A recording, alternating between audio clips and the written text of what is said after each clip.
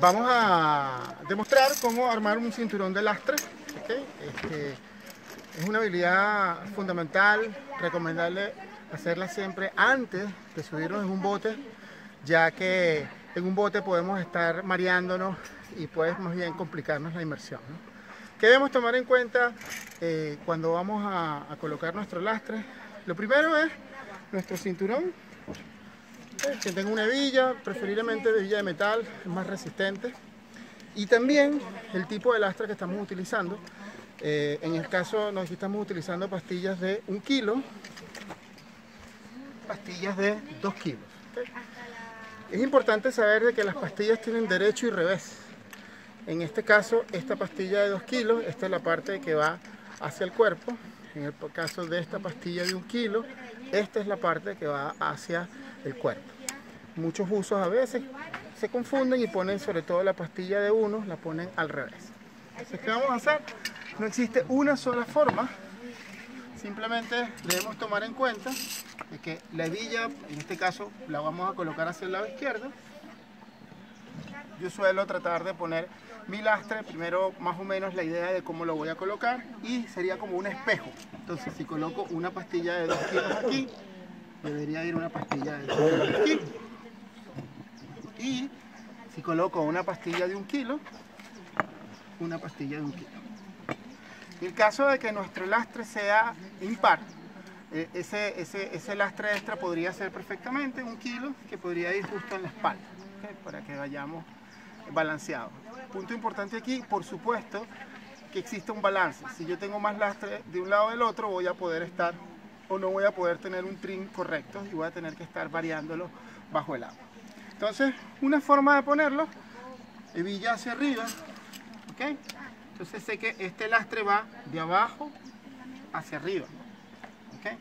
Otra forma, lo coloco abajo, al revés, volteo los plomos.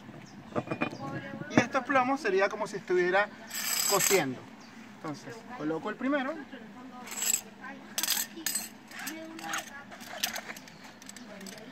Puedo dejar aproximadamente unos cuatro dedos con el último para la villa y a veces podemos hacer aquí una pequeña trampa que es hacer un medio pliegue, un doblez. ¿Para qué sirve esto?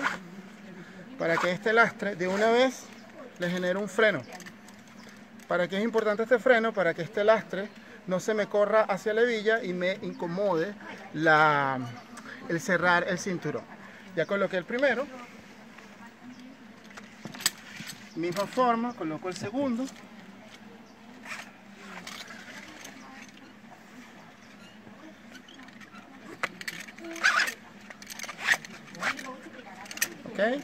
En este momento puedo hacer, estimar dónde va el otro, así que coloco hebilla en el cinturón, en el medio.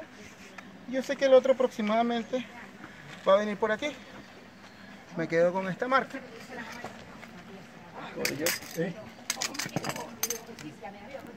Ahora coloco el de uno.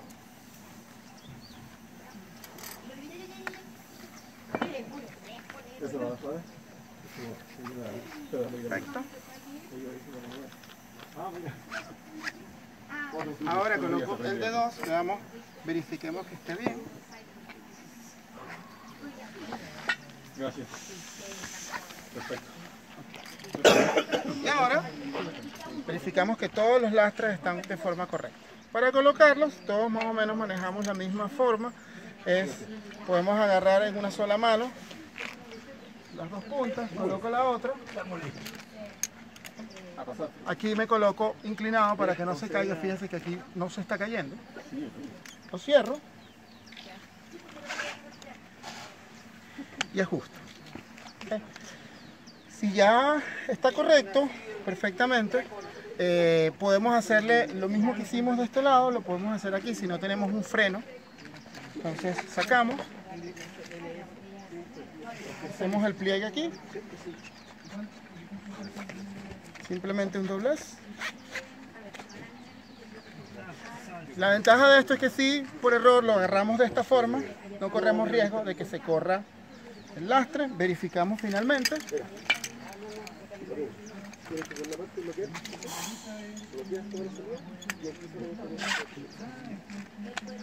Y aquí estamos, ¿ok?